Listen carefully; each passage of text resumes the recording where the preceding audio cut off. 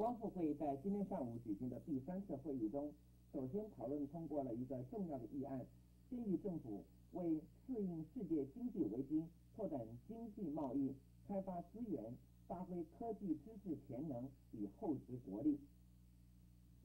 经济部次长张光世今天也应邀在会中报告了我国经济发展的展望，说明我国目前在经济方面所遭遇到的困难，主要的原因是国际的通货膨胀和石油的危机，所以我们必须在稳定物价的同时，全力发展外交。